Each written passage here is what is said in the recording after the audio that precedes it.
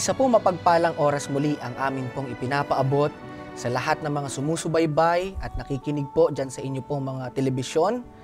Welcome po muli kayo sa programang Back to the Scriptures. Ako pong inyong lingkod, kapatid na Joel D. Abonalis Jr.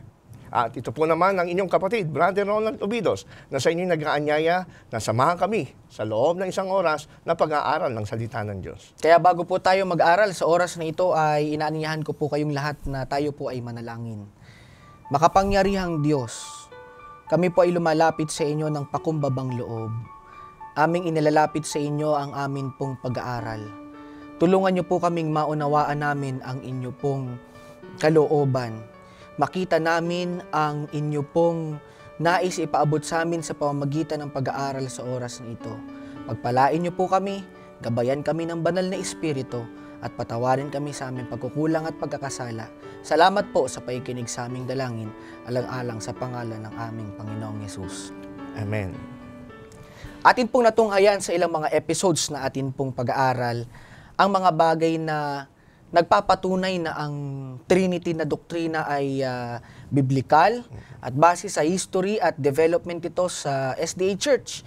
Yamang pinag-uusapan natin, Brother Ronald, isa rin hindi lamang biblical Trinity, kundi paano na-develop sa Seventh-day Adventist Church Oo. ang pananaw, na, pananaw natin tungkol sa Trinity. Ulitin natin, ang doktrina ng Adventist ay hindi po yan, kinu about sa Trinity ay hindi yan kinuha sa kung ano pa man na pagano daw o kung saan-saang mga relihiyon, kundi kinuha po ito mismo sa banal na kasulatan, gayon din sa development ng ating church, lalo tigit na pinagbasihan yung writings ni Ellen White. Kaya dito makikita natin ang pag-aaralan po natin sa oras na ito, paano po nakatulong ang mga aklat na sinulat ni ah, Mrs. Ellen G. White sa pamamagitan ng vision na pinakita sa kanya ng Panginoon upang mas lalo nating makita ng maliwanag kung ano ba talaga ang may kinalaman sa Trinity. Dito ipinaliwanag po ni Ginang Ellen White yung tungkol sa persona ng ating Panginoong Yesus na siya ay Diyos. At gayon din ang banal na Espiritu, siya rin ay Diyos.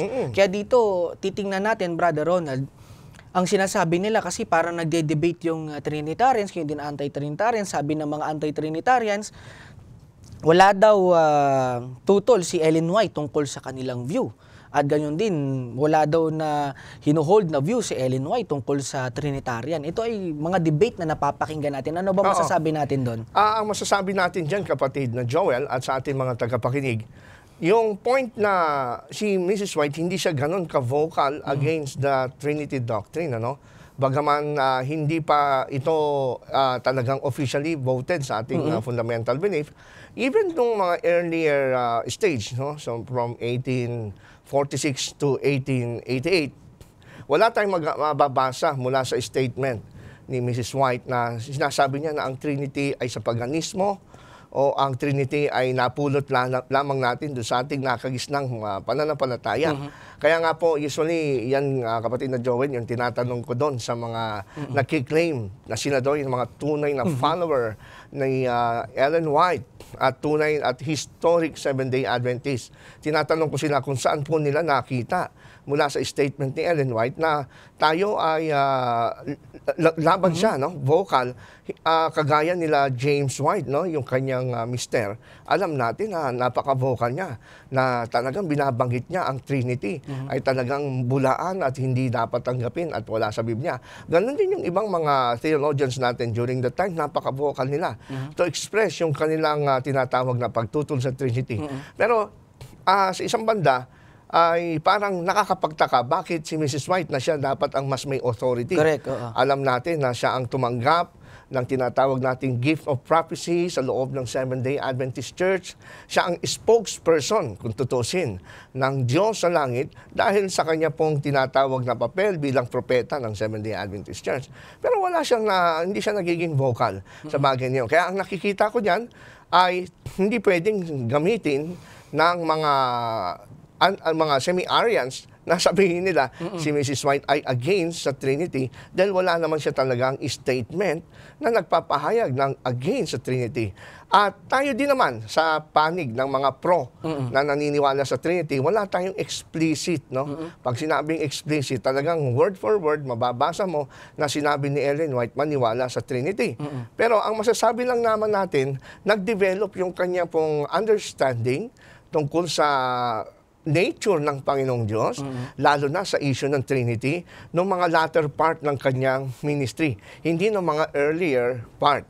Ang maganda nun, siguro, ay to be safe, si Mrs. White ay hindi nagbigay ng judgment tungkol sa issue nito. Hindi kagaya ng mga sinaunang pastor natin na they reject it, pero hindi siya nagbigay ng judgment. Maaring nararamdaman niya na may go signal ang Panginoon na darating ang panahon na ito ay kanya maunawaan. Sa isang banda, masasabi din natin, kapatid na Joel, at sa ating mga taga-subaybay, ang kinikilala nating propetisa si Mrs. White ay meron din siyang tinatawag nating isinasagawang progress ng understanding sa ibang mga doktri- doktrina ng Bible. Ah, kasi baka isipin ng ilan, porque si Mrs. White ay nag-change ng kanyang view at ah, nagbabago ng kanyang view ng mga doctrines ay ibig sabihin ay nagkakamali siya.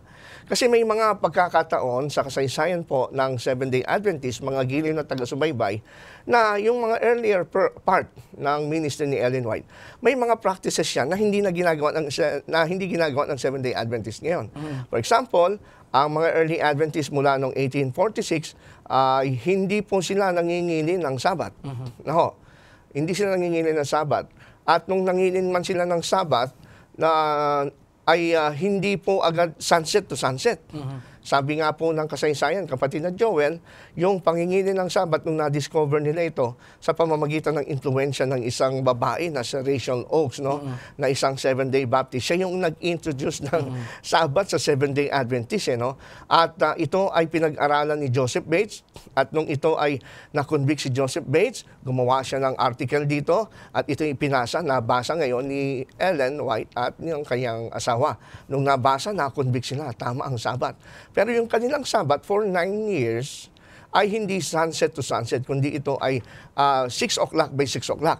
6 o'clock to 6 o'clock. At ah, noong 1855, si J.N. Andrews, pinag-aralan niya, naggumawa siya ng research, nakita niya na ang tama palang reckoning ay sunset to sunset, kaya nag-adapt sila ng tinatawag na sunset to sunset. No? Isa pa, yung tinatawag nating health reform. Si Ellen White ay ah, nung una malakas siyang kumain ng karne, lalo na yung baboy. At yung mga Adventist pioneers nga natin nung mga 1840s, may mga alaga pang baboy sa kanilang ah, tirahan, no? At ito ay hindi nila pinaniniwalaan na ito ay hindi dapat ah, kainin. So, kung tayo babalik doon sa kanilang paniwala, ay magiging paatras tayo imbis na tayo ay maging progressive sa understanding sa salita ng Diyos. Nagiging regressive po tayo at ah, mapapasama pa lalo ang ating ah, kalagayan. So, kung si Mrs. White ay naniniwala tayo ayon sa history na marami siyang mga na, nagde-develop din siya at nagpo-progress din siya, sumusulong din siya sa kaalaman, hindi rin nakapagtataka kung halimbawa man na hindi sa kanya maliwanag yung Trinity during the earlier part of her ministry at later on ay inadapt niya na yung Trinity doctrine kasi yung konsepto ng Trinity eh do sa latter part ng kanyang mga writings ay gumagamit siya ng mga termino na tanging mga Trinitarians lang ang Correct. gumagamit.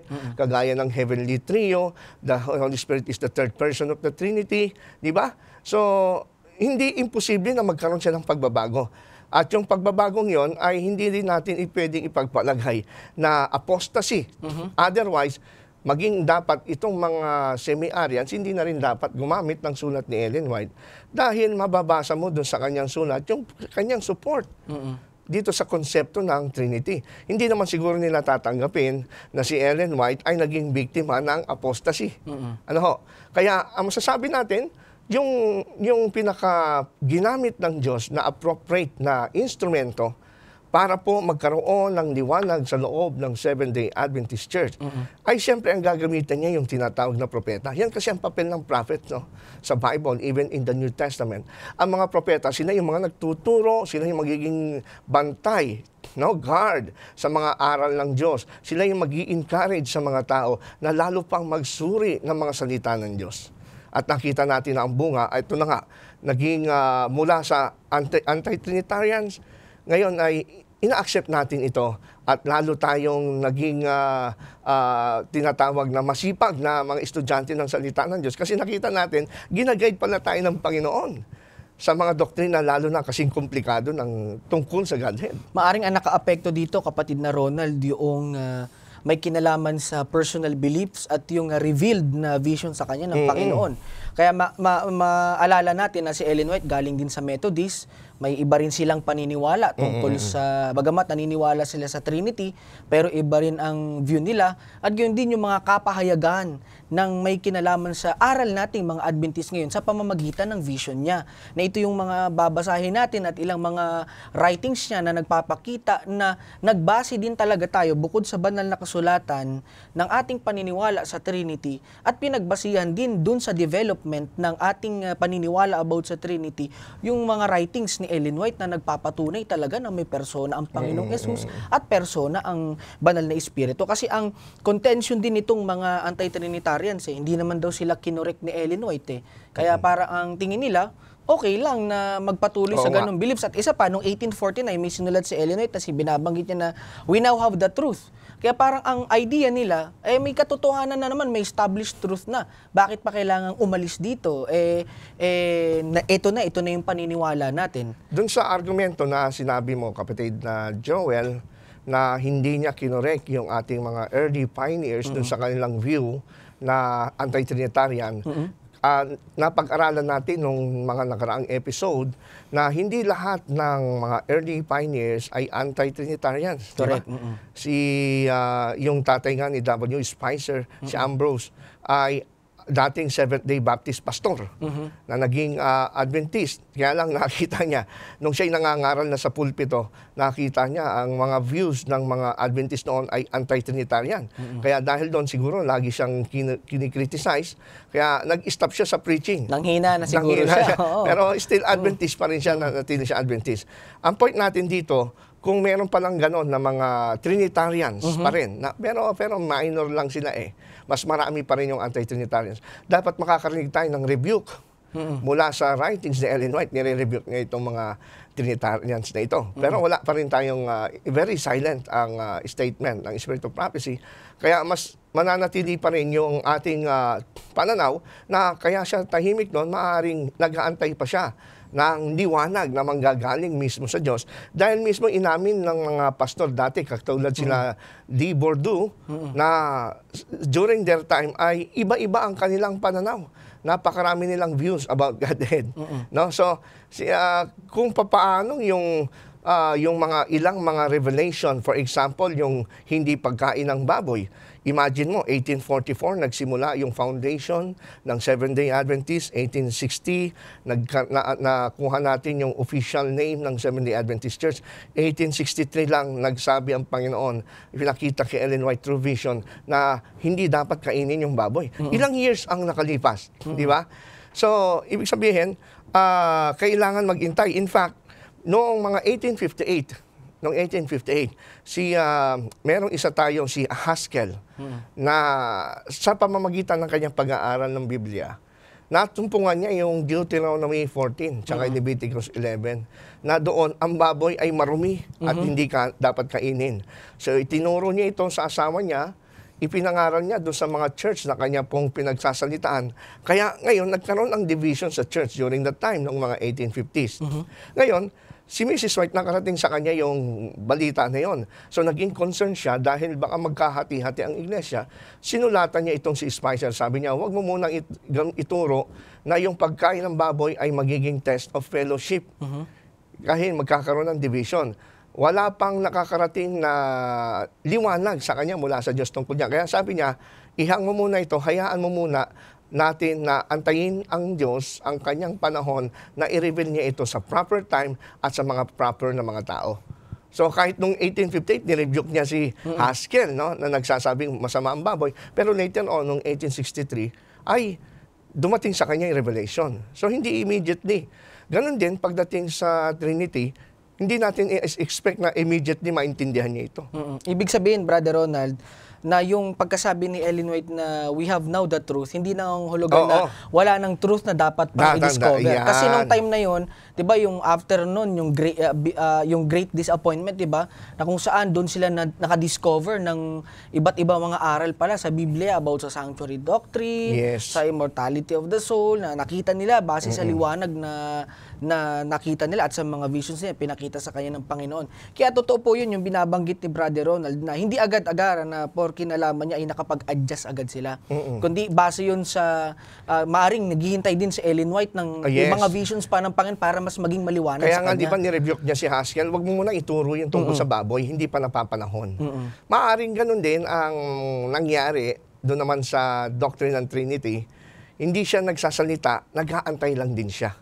No? Kung kaya niya mag-intay tungkol sa revelation about sa pagkain ng pork, bakit hindi naman niya kaya mag-antay tungkol sa revelation ng Diyos, tungkol sa Doctrine and Trinity? Mm-mm. Kaya ang kagandahan dito, Brother Ronald, sa mga earlier writings ni Ellen White, wala naman din tayo nakita na kinontradict niya din yung ah, mga sulat niya. Lalo tigit, nung nagkaroon na siya ng mga revelation tungkol dito sa pinag-uusapan natin na Godhead, Yes. mas lalong naging maliwanag sa sa church natin ang mga pahayag sa kanya upang mag-come up tayo o mag-arrive tayo sa conclusion natin tungkol sa meron nga talagang Trinity. Yung napakita na sa kanya, yung Heavenly Trio, yung Three Persons na ito po yung babasahin natin sa mga kapatid natin, Brother Ronald. Yung ilan sa mga writings na na nagpapahayag tungkol sa sa ating pinag-aaralan nga ito sa Oo. persona ni Kristo at ng banal na espiritu. So, ngayon tingnan natin Brother Ronald, an- ano-ano ba yung mga sulat o mga naitala ni Ellen White or ano ba yung mga naka-apekto o influence sa kanyang understanding bukod sa kanyang vision, yung kanyang understanding about sa Godhead? Alam natin, na kapatid na Joel at ah, mga giliw na taga-subaybay na si Ellen White ay bago siya sumama dun sa Millerite movement, ang kan- siya at ang kanyang pamilya ay member ng Methodist Church dun sa kanilang lugar. Ngayon, bilang Methodist ay mga Trinitarians yan. They believe in the doctrine of the Trinity. In fact, meron nga tayong ah, isa ritong babasahin na referensya. Ito po ay, kung tawagin, ay yung pangdoktrina ng mga Methodist Church. No? During her time, ito ay pinpublish noong 1856, nasa page 15, kung saan dito ay naka-express doon yung kanilang statement about the doctrine about God. Ito'y pinamagatan nilang, pinamagatan nilang doctrines and discipline of the Methodist Episcopal Church kung saan dito ay kaanib si Mrs. White at ang kanyang family. Tingnan, pakinggan po natin kung ano ang statement of belief na ito na ito po actually ang nire-reject na Trinity ng mga pioneers. Sabi doon, there is but one living and true God, everlasting, without body or parts. So, meron sinasabi rito sa kanila pong ah, pandoktrina na meron lamang isang Diyos, nabubuhay na Diyos, isang Diyos na walang hanggan, ngo at siya po ay walang body or parts. Wala siyang katawan o parte man ng katawan. No, siguro ang basis nila rito yung nasa John 4:24 na ang Diyos ay espiritu at ang lahat ng mga sumasamba sa kanya ay sasambahin siya sa espiritu at katotohanan. Oo. Kaya dito, yung uh, paniniwala ni Ellen White tungkol nga yan sa Trinity kasi associated sa dun eh, sa mga Methodist na yun. Kaya kung walang uh, body parts, yung Diyos na yun at espiritu lang siya, kaya may punto o may pagkakataon, Brother Ronald, na parang nagtanong siya eh ah, pa sa kanyang sa Panginoon kung ano ba talaga yung kanyang anyo, kung ano ba talaga Oo, ang kanyang oo, oo. ah, pagkatao niya talaga. Oo. Actually may may ah, ah, nagtanong siya dito sa isa sa kanyang vision, early vision ni Ellen White dito sa may ah, early writings, page 54. Gusto ko pong basahin mga minamahal para dito maipakita kasi ito ang contention nila na parang tatanong siya ano ba talaga ang hitsura ng Diyos. Ah, ito yung problema nila about sa Trinity. Ito po yung pagkabanggit. I saw a throne, and on it sat the Father and the Son. I gazed on Jesus' countenance, she said, and admired this lovely person. The Father's person I could not behold, for a cloud of glorious light covered him. I asked Jesus if his father had a form like him. He said, He had said, But I could not behold it. For said he, If you should once behold the glory of his person, you would cease to exist. Kaya dito, Brother Rod, ah, dito pinakilala sa kanya na ang Panginoong Yesus ay persona talaga, hindi lang siya ah, espiritu or walang body parts. Ano bang ma- ah, dadagdag pa natin dito? Meron pa po ba siyang ibang mga visions regarding sa bagay na ito? Parang dito nga nag-confirm sa kanya yung liwanag na hinihingi niya sa Panginoon. Kasi nga parang doon sa creed o yung statement of belief ng Methodist Church na binasa natin kanina, sinasabi doon na ang Diyos ay without body or parts. So, doon ay kung atin pong marirealize, mga kapatid at mga kaibigan, yun po kasing konsepto na ang Diyos ay walang katawan at walang parts. Yan po ay na-impluensyahan ng tinatawag nating Greek philosophy o yung dualism. No? Kaya nasabi ng walang katawan, walang form. Kasi alam naman po natin sa Greek philosophy, pagka sinabing dualism, ang ini-emphasize nila doon, magkaiba yung physical or material Yung kaysa soul. sa soul. No? Ah, Sa kanila, ang identity ng isang individual is not on the physical but on the spiritual form o yung tinatawag nilang soul na immortal. Kaya dahil itinuturing nila na yung material ay madumi, makasalanan, at ito ay ah, nabubulok, kaya parang pagka ina-associate nila ang isang being kagaya ng Diyos sa na siya ay ah, siya ang connected dito sa material na ito ay hindi daw pwede dahil mahahawaan at masisira yung kabanalan. Kaya may mga doktrina tayo na sinasabi na nung nilikha, naririnig natin mga doktrina na sinasabi sa philosophy ng Greek na ang Diyos daw, dahil sa siya ay transcendent, malayo sa material, dahil hindi siya pwedeng kumonek dahil ito'y makasalanan. Para kro- mag-create daw siya ng mundo, gumawa siya ng isang demigod, kung tawagin, maliit na Diyos. At yung maliit na Diyos, yun ang nagdikha ng lupa na naging makasalanan at evil. So, doon sa point na yon ay humalo later on sa teachings ng doc, ng Godhead or Trinity. Kaya dumating yung point na yung mga Trinitarians, ang kanilang belief, kagaya nung na-express doon sa katikismo o yung pandoktrina ng Methodist Church, sinasabi nila, yung iisang Diyos na walang hanggan ay walang katawan, ha? Walang katawan o parts. Kaya nila nasabi yun kasi nga because of that dualism. No? Samantalang si Mrs. White, nung na-encounter niya mismo ang Panginoon, gaya dyan sa iyong ah, binasa na sulat niya sa early writings, mismo ang Panginoong Kristo at ang Diyos Ama, nakita niya nakaupo sa trono. In fact, sabi nga rito, may nakita niya hindi naman mga trono, kundi isang trono. I saw a throne and on it sat the Father and the Son. So yan ang isa sa mga tinatanong din kadalis- kadalasan ng mga natin, no? Pagka ako ba dumating sa langit, ay makikita ko ba yung Ama, Anak, Espiritu Santo nakaupo sa isang trono o hindi, no? Parang sa atin ang hirap i-explain ito. But dito ay napakapalad ni Sister Ellen White kasi nakita niya isang trono ay so a throne at doon nakaupo yung ama at yung anak at nakita daw niya yung kal- ka- kaluwalhatian, yung kagandahan ng forma ng ating Panginoon So Kristo at ah, nung nakita niya ito, sabi niya, I admired his lovely person. No? So nakita niya mismo yung persona ng anak at persona ng ama. At tinanong pa nga niya, nung makita daw kasi niya yung persona ng ama, hindi natatakpan siya ng ulap. Kaya sabi niya, Panginoong Jesus, yung bang ama ay meron ding form kagaya mo? No? Form. Ginamit dito ni, ni Sister White yung word na form based sa kanyang understanding nating mga tao na may shape. No? Ang Diyos Ama ba ay may form or shape kagaya mo?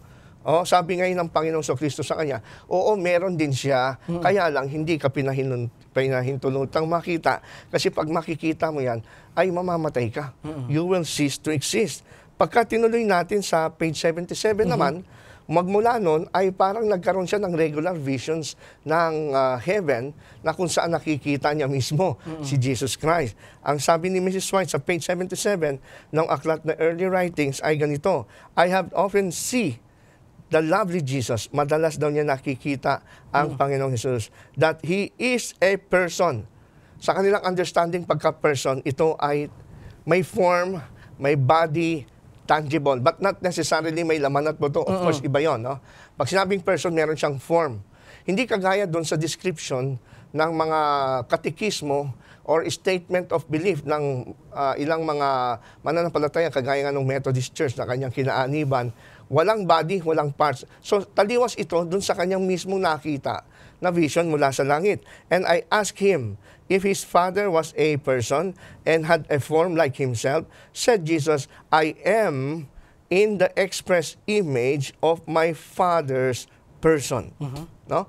Sa doktrina kasi ng Trinity, ang alam ko din dati, ah mayroong isang being, there is one being in three persons. So, yung persons, hindi masyado na ipaliwanag sa atin, anong person ito? Basta ang person, yung individual.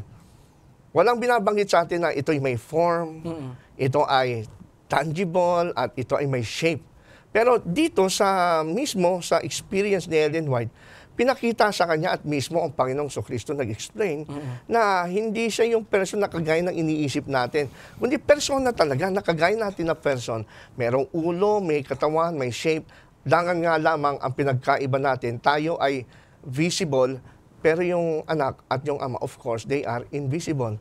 And they can only be accessed by means of vision na napakapalad na nakita ni Ellen White. Actually, dyan sa binabanggit mo na yan, yung nakita nga niya ni Ellen White, dyan sa kanyang sulat sa early writings, parang meron yung, ano, yung visionary confirmation about doon sa sa in-expound ni James White earlier Oh, yes. nung sumulat si James White sa Millerite Journal noong Daystar, 1846 mm-mm. nung nakita niya dito sa may uh, uh, Daystar January uh, 24 1846 maganda basahin natin brother Ron Sige. sabi po dito this class can be no other than those who spiritualize away the existence of the Father and the Son as two distinct, literal, tangible persons.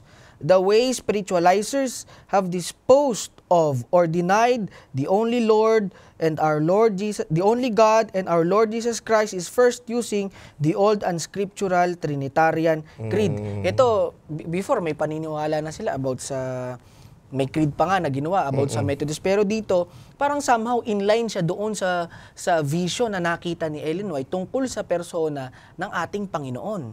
So kaya dito makikita natin maliwanag na unti-unti na ipinapakita sa kanila bagamat may ganong ka- kaisipan sila tungkol sa doktrina ng Trinity. Pero dito, ah, yung progress ay medyo mabagal pero unti-unting ipinapahayag sa kanila ng Panginoon na liwanag. Oo, at ah, kung mapapansin natin mga kaibigan, kapatid na Joel, ang ginamit dito na term ni ah, ni James White, no, yung mister ni Ellen White, yung mga hindi naniniwala na ang ama at yung anak ay ah, literal, Literal, tangible persons, not necessarily nahahawakan ng tao, but para silang, siguro kung atin i-explain sa ating panahon, eh, parang 3D.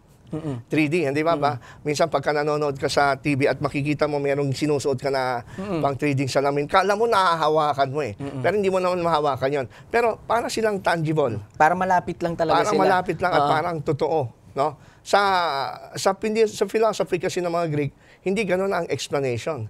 Hindi siya concrete, para siyang abstract. Kaya dito, ang tawag na, nila James White na anti-Trinitarian doon sa mga naniniwala na ang Diyos ay walang body, walang parts, ay ini-spiritualize nila. Ini-spiritualize. Kaya nga tayo, hindi natin ma-imagine paano yung tatlong persona eh.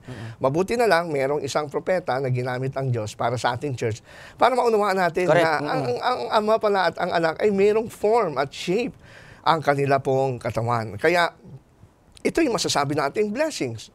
No? At ito hindi nakita dati ng mga early pioneers. No? Si James White, ginamit ng Panginoon, maaaring siya ay ah, through his studying of the scriptures. Kasi kung ito'y, kung itong doctrine na ito ay ah, nagmula lang kay Ellen White, tsaka lang pinatunayan ni James White, ay lalabas na ang doktrinang ito na God, Jesus, and the Father, literal tangible persons, ay doktrina lang ni Ellen White. Kaya ang nangyari, baliktad.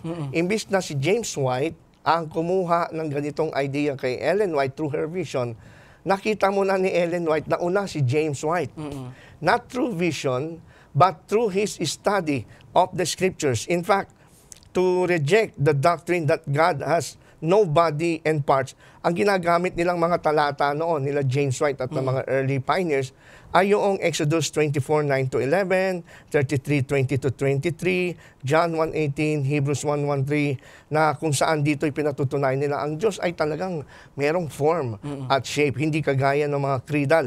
Kaya dun sa binasa mo na sulat ni James White na lumabas doon sa Daystar noong January 24, 1846 kung saan ay sinabi niya rito na mali yung pananaw na ang Diyos ay spiritualized at si Jesus Christ ay spiritualized. Kaya sabi niya ito'y tinatawag niyang unscriptural Trinitarian Creed. So ang kanilang against is the Trinitarian Creed na nahaluan ng Greek mythology, uh, tinatawag ng Greek philosophy na dualism but not the biblical Trinity itself. Yan yon. Kaya lumalabas sa pananaw ni Ellen White, may dalawang uri ng Trinity na nag exist sa kanyang panahon. Ito yung Trinity na kung saan ang paniwala ay ang Diyos ay walang body at walang parts.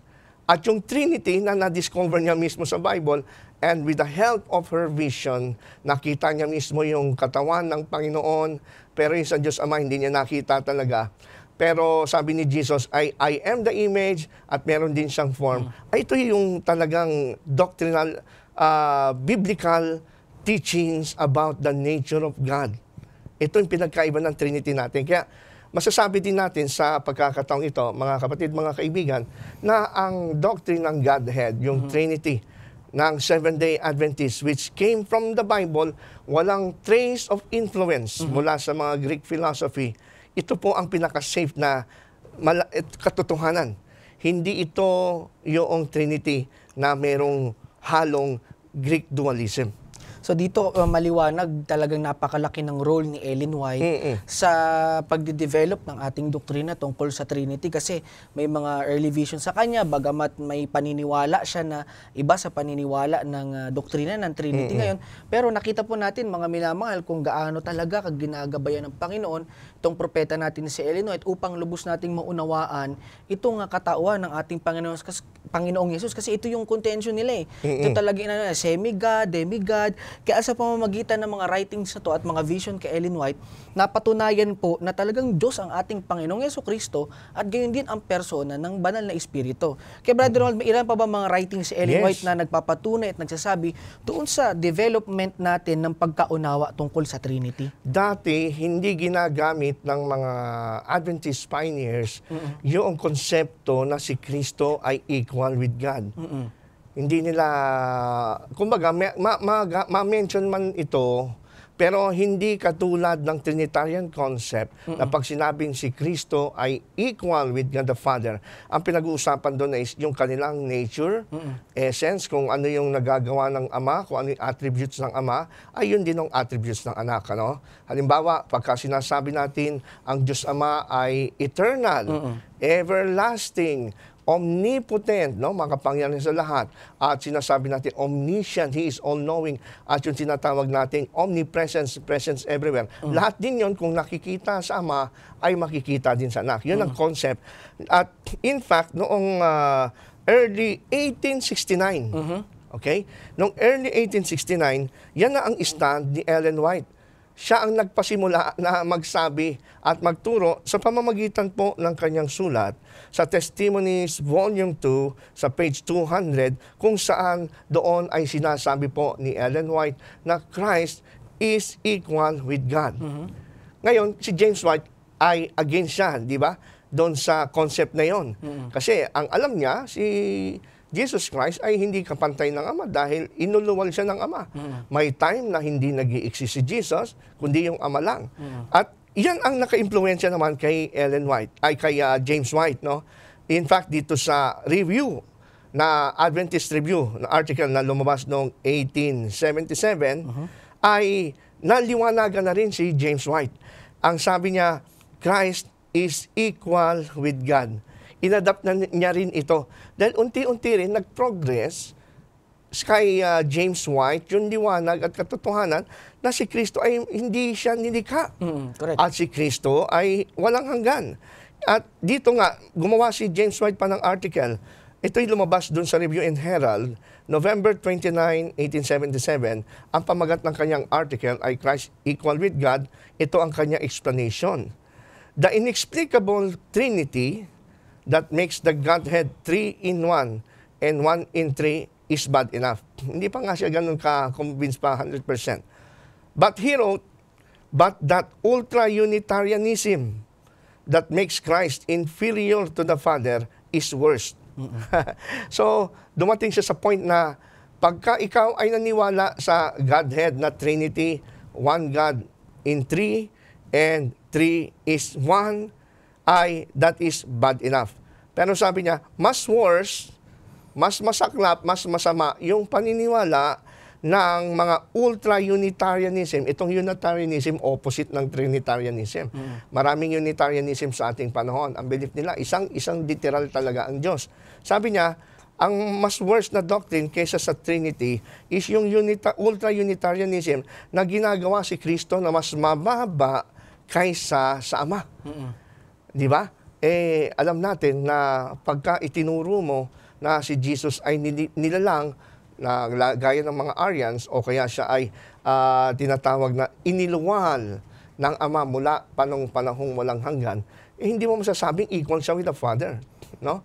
Yun, hindi yun ang ibig sabihin ni Ellen White. Ang ibig niya sabihin, nung sabihin niya na Christ is equal with the Father, ay meron siya diyang, din siyang statement sa kanyang sulat na sabi niya, Christ is in unity with the Father or Christ is one with the Father throughout eternity.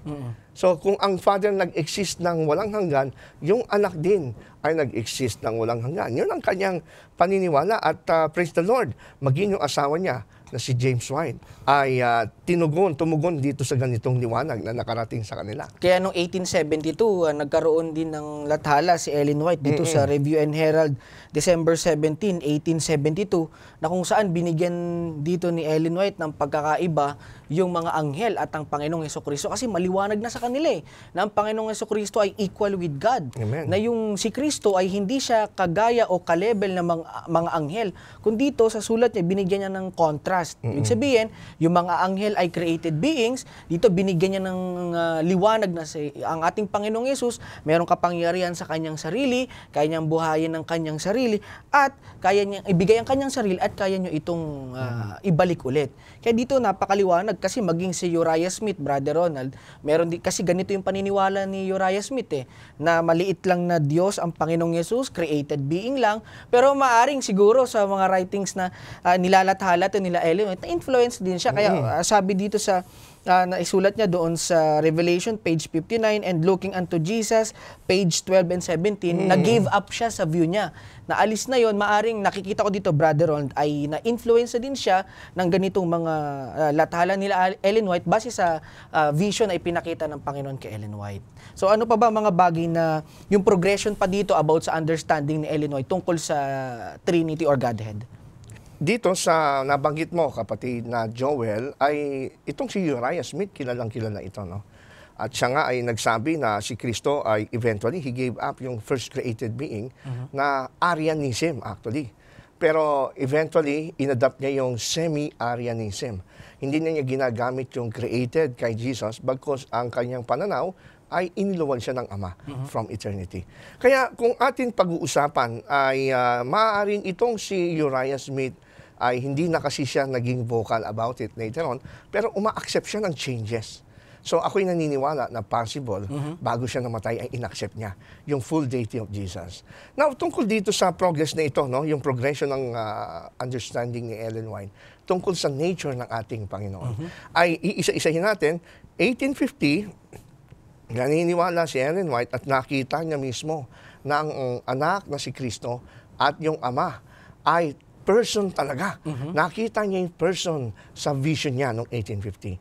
At noong 1869, sinulat niya sa Testimonies Volume 2, page 200, na si Kristo ay equal with God. Pero hindi pa niya masyado in-expound yung kanyang meaning doon.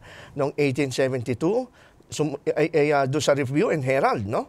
Sa, noong December 17, 1872, Christ was not created. No?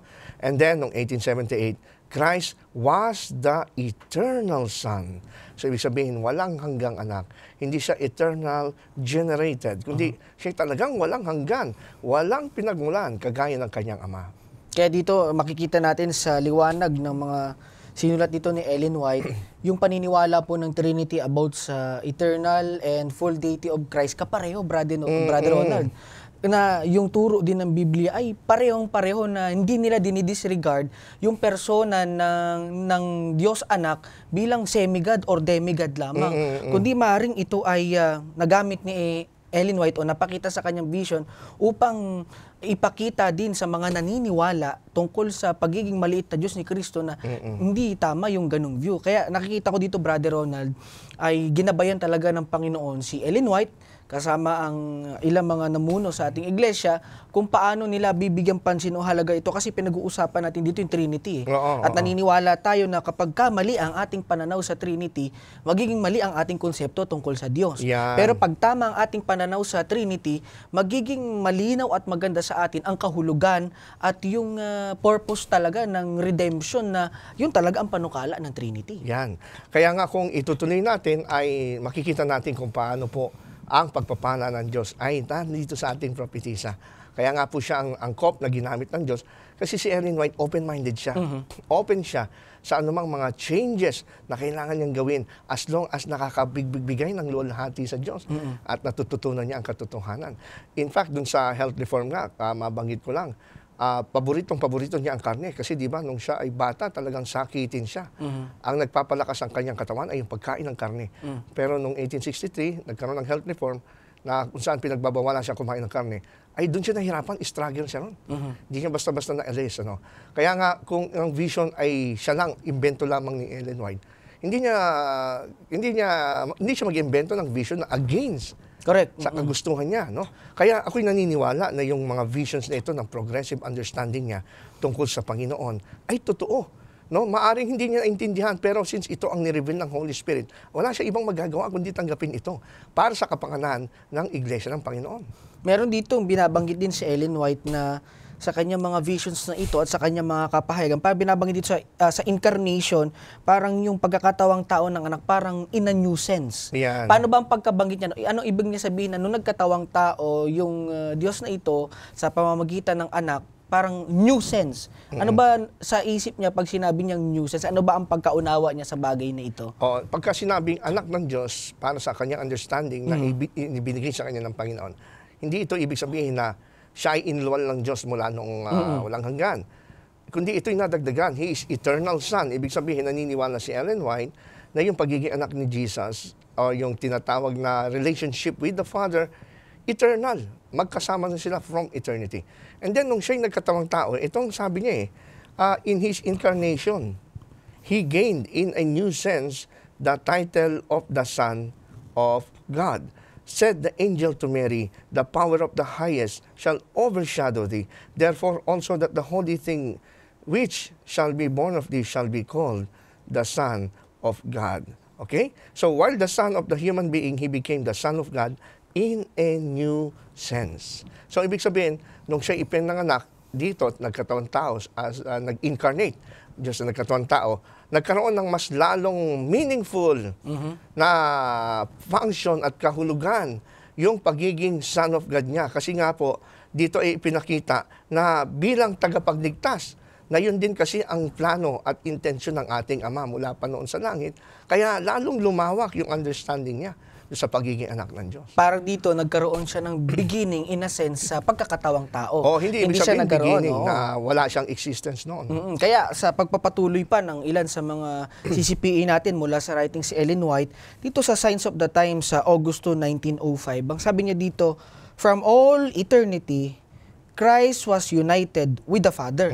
Ibig sabihin, kasama na ni Kristo ang ang Ama magpasimula pa lang. Kaya dito nakikita ko Brother Ronald ah, hindi magiging ah, makabuluhan dito yung uh, kino-contest ng semi-Arians na maliit lang na Diyos ang ating ah, Panginoon kasi maliwanag na maliwanag sinabi ni Ellen White na kasama ng ng Ama ang Panginoong Yesus. They are equal. Uh, they've been together from eternity past. Kaya o, walang pagkakataon na sasabihin natin si Kristo may pinagmulan. Although Ah, ah, ito ay naging idea ng ilan sa mga pioneers natin. Kumbaga, ginamit talaga ng Panginoon sa si Ellen White upang ipaunawa sa panahon natin ngayon ang kahalagahan ng makita natin talaga yung role at function ng Diyos Anak at Banal na Espiritu sa pabalita ng kaligtasan. Ang maganda nga nun ay itinuro sa kanya ng Holy Spirit na bukod sa pagiging anak, no, nung siya ipinanganak ni Maria, naging tao, in a new sense siya po ay tinatawag na nagpasimula talaga. Literally, kasi nagkaroon, nagkatuwang tao siya. Mm-mm. No, now, ang pangalawang bagay na kahulugan ng new sense, in a new sense, Son of God in a new sense, ay yung pagiging dependent niya sa Ama. Kasi nung siya'y nagkataon tao, bilang tao, alam natin na siya ay limitado, kailangan niya talagang dumipende sa Ama. Sa lahat ng kanyang ginagawa, sa lahat ng kanyang mga desisyon nung siya'y nangangaral dito sa lupa.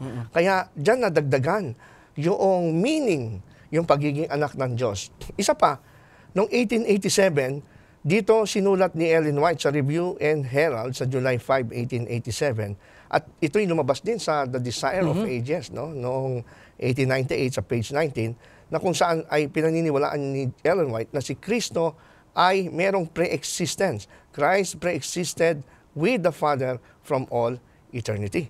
At noong 1888 naman, ano naman yung nakita ni Ellen White? Diyan sa kanyang sulat. Binabanggit niya po dito yung uh, a broader conception Yan. of righteousness by faith demands the full deity of Christ. Yun. So, So, we dito cannot- maliwanag. Oh, oo. we cannot be righteous, we cannot be atoned by Jesus Christ, we cannot be redeemed by Jesus Christ kung ang kalagayan niya ay created being Mm. o kaya a inferior God, ano? Kaya maganda yung sinabi dito sa The Great Controversy sa page 524, no? Ano yung sinasabi niya diyan tungkol sa mga hindi naniniwala sa kabuuan o yung full deity of Christ. If men reject the testimony of the inspired scriptures concerning the deity of Christ, none who hold this error can have a true conception of the character or the mission of Christ or of the great plan of God for man's redemption. yun pala ang magiging consequence. Pagka hindi natin tinanggap, yung pagiging tunay na Diyos ni Kristo ay magkakamali tayo sa concept ng kanyang misyon sa lupa. Kaya po mga minamahal, kung si Ellen White na uh, inaalis sa kaisipan uh, ng sa kanyang mga sulat na ito na hindi dapat nating paniwalaan na ang Panginoong Yesus ay nilalang lamang, siya ay created, kung dito maliwanag na ipinapakita niya na kaisa siya ng Diyos Ama. Amen. Siya ay nag-exist kasama ng Diyos Ama. Kaya kung ikaw na nakikinig at naniniwala, ah, may paniniwalang ganito, ay ipinapanalangin ka po namin na darat dumating po nawa ang Panginoon na alisin mo na sa iyong kaisipan na maliit lamang na Diyos ang Panginoong Yesus. Siya ay ah, itinalaga ng Diyos Ama bilang Diyos upang magligtas sa iyo at sa akin para sa ating mga pagkakasala. Kaya napakagandang pag-aralan, Brother Ronald, ang may kinalaman talaga sa Panginoong Yesus. Kasi kung si Ellen White, nakikita niya na ganito pala ang role at function ng Panginoong Yeso Kristo na nararapat siya para sa pagliligtas ng mga tao. Ganon din po sa akin. Kaya habang pinag-aaralan natin to, nakikita ko na talagang napakabuti ng Panginoon. Amen. Ah, bagamat na maraming umusbong ng mga paniniwala, na maliit lang siya na Diyos, na siya ay created being lamang, pero hindi nagtagumpay eh. Nagtagumpay talaga kung anong sinasabi ng Biblia at sa liwanag ng sulat ni Ellen White kung sino at ano ba talaga ang function niya para sa kaligtasan natin. Kaya ako naniniwala ako na para maging safe tayo, na follower ng ating Panginoon sa Kristo, susundan natin yung progress. Amen. Yung progress ng pagkaunawa tungkol sa pagka-Diyos. Sundan natin si Ellen White habang sumusulong. Huwag natin sundin yung mga semi-Arians na binabalik tayo dun sa simula. No? Kung meron po tayong babalikan, walang iba kundi yung naging progress ng learning at knowledge ni Ellen White tungkol sa Diyos. Mm-mm. Kumbaga, sa mga kasabihan natin minsan, nakikita natin yung ah, parang tumatanda ka ng paurong. Oo, yun. Ganun ang Kumbaga, mangyayari. Parang ganun mangyayari. Nandito na tayo sa napakaliwanag na nga. Tapos bigla ka nga atras. Kaya di ko rin maunawaan yung idea ng semi-Aryans na paano mo siya ituturing na tagapagligtas mo kung maliit lang siya na Diyos? Paano ka magbibigay ng lubusang pagkakatiwala dito sa buhay na makasalanan, ah, dito sa mundong makasalanang ito, na darating ang, pangin, ang panahon na ililigtas ka niya bilang siya na tagapagligtas. Kaya maliwanag sa writings ni Ellen White at kung meron ka pang gustong ibahagi sa ating mga tagapakinig na binabanggit niya talagang ipinakita dyan yung pagiging Diyos ng Panginoong Heso Kristo. Ang babasahin ko ay mula sa ah, Review and Herald, no, April 5, 1906, kung saan dito noong 1888 ay ipinaliwanag mismo ni Kristo, ng, ni Ellen White, ang Kristo, kung papaanong siya at ang kanyang relasyon sa kanyang Ama. Ang sabi rito, Christ is one with the eternal Father, one in nature, in character, and in purpose, sabi sa page 493. Doon naman sa page 495, Christ is one in power and authority. Yet in person, Christ was distinct from the Father. The Lord Jesus Christ existed from eternity, a distinct person, yet one with the Father. Yan ang kanyang statement na sa panahon natin kung ito ay hahanapin mo doon sa iba- iba't ibang theory tungkol sa Godhead or nature of God. Ito ay pinakamalapit sa explanation or concept Correct. ng doctrine ng Trinity. Kaya nga doon sa The Great Controversy, noong ding 1888, sa page 493, Christ was the only being in all the universe that could enter into all the counsels and purposes of God. So kung paano si Kristo ay the only being sa buong universe na pwedeng pumasok at manghimasok at yung siya ay maging bahagi ng counsel at purpose ng Panginoon. Walang pwedeng makagawa nung kung hindi siya Diyos. Ito'y katumbas ng sinabi ni Apostol Pablo na ang Espiritu Santo ang siya lamang nakapagsusuri ng mga malalalim na bagay ng Diyos. Eh, kung ang Espiritu Santo ay hindi tunay na Diyos, hindi niya maaaring suriin yung mga bagay sa Diyos kasi kailangan maging Diyos ka para masuri mo yung mga bagay ng sa Diyos. No? Kaya, sinasabi pa rin dito sa Prop- ah, Patriarchs and Prophets sa page 34 na kung saan yung sinasabing the only being ay contrast ito sa mga angels na alam natin created. So parang indirectly sinasabi ni Ellen White, walang created or yung tinatawag na hindi eternal being ang maaaring makapasok, makaunawa at maging bahagi ng tinatawag nating heavenly council. Lalo na kung ang pinag-uusapan ay yung tungkol sa redemption of humanity. Unless kung siya ay Diyos na kagaya ni Kristo. Noong 1890, di ba? Dito sa Patriarchs and Prophets, page 36, Christ is self-existent. His deity is not derived from the Father. Pagdating ng 1897, Special Testimony Series A, page 37, the Holy Spirit is the third person of the Godhead. At uh, nung 1898, doon na nga sa Desire of Ages, no? na ito'y napaka-controversial, na kung saan sinabi niya mismo na in Christ is life, original, unborrowed, underived. Tapos doon sa page 671, the third person of the Godhead, itinuring niya sa Trinity. At nung mga time, nung mga 1901, 1905, dito niya talaga tahasang ginamit yung termino, though hindi ginamit ni Ellen White yung term na Trinity, hindi niya ginamit kasi mas ginamit niya yung mas biblical actually na mas malapit at sa term ng Trinity at konsepto, yung eternal heavenly dignitaries, three highest powers in heaven, three living persons of the heavenly trio, the Father, Son, and Holy Spirit are one in nature, character, and purpose, but not in person. Lumabas yan sa librong Evangelism.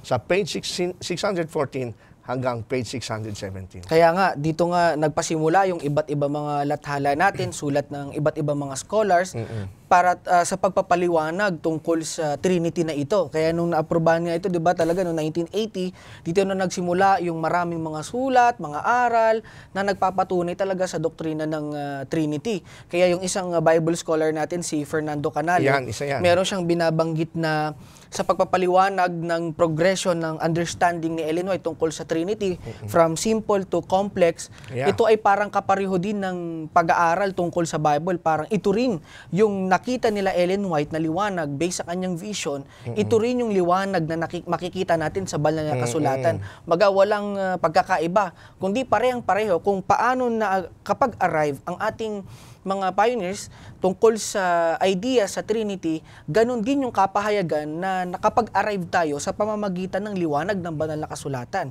Kaya hindi po pwedeng sabihin ng mga semi-Arians nito, mga kapatid na natinahi o inaltered, binago yung mga sulat ni. Ellen White or dinoktor, kundi dito maliwanag. Based sa historical facts, sa historical records ng ating church, nakita natin na napakarami pa ng mga sulat ni Ellen White na nagpapakita sa konsepto ng Trinity, ang pagiging Diyos ng Ama, ng Anak, at ng banal na espiritu na siya ay tatlong persona. Kaya nga tinawag siya ni Ellen three living persons or yung heavenly trio. Kaya ito napakiliwanag na binabanggit ito sa ating pag-aaral, Brother Ronald. At yun nga, noong mga bandang 1900s, pumasok yung Kellogg controversy. No? Na si Kellogg kasi ay ah, sumulat siya ng libro na The Living Temple, kung saan ang kanyang paliwanag tungkol sa tatlong persona ay iba naman. Iba ang konsepto niya, spiritualizing. No? Spiritualizing to the point na nauwi ito sa tinatawag nating ah, yung pantheism.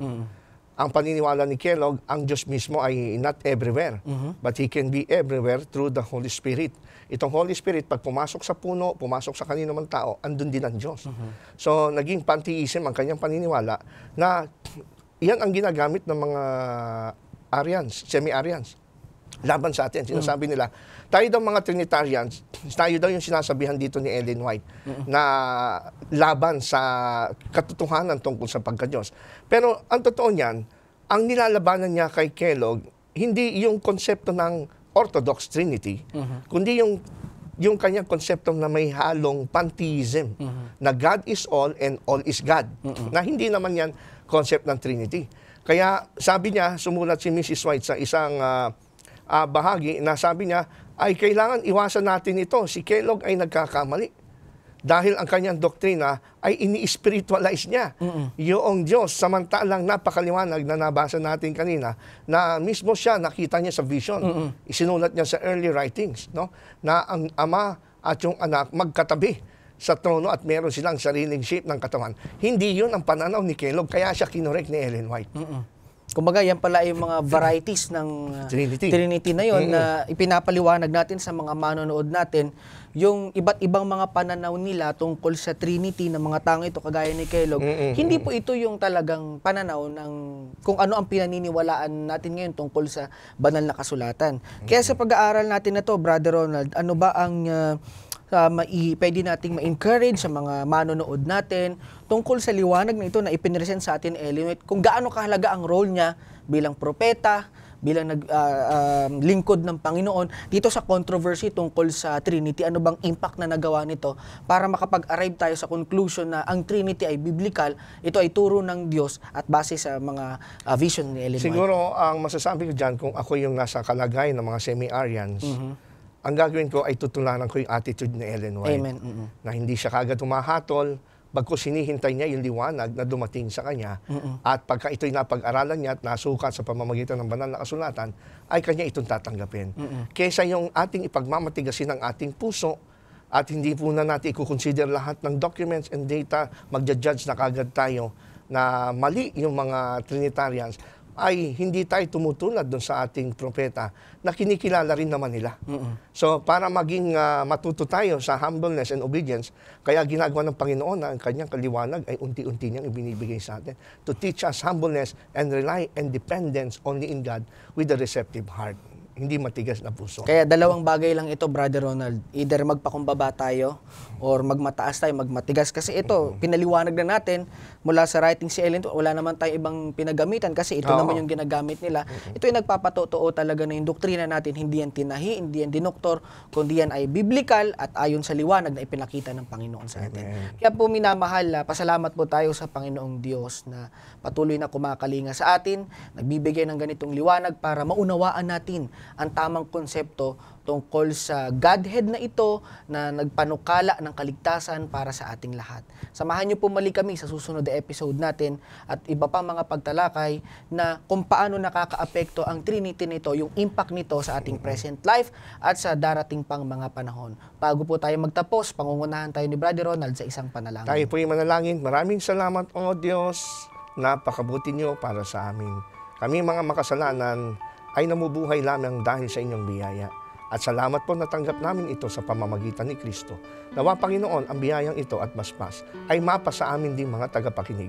At sila po ay mabless at lumapit sa inyo na may pagpapakumbaba at taos puso na lumapit at umasa lamang kay Kristo bilang tagapagligtas.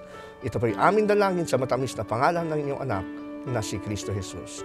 Amen. Marami pong salamat sa inyo pong pagsubaybay. Ang kapayapaan nawa ng ating Panginoong Yesus ang sumaating lahat.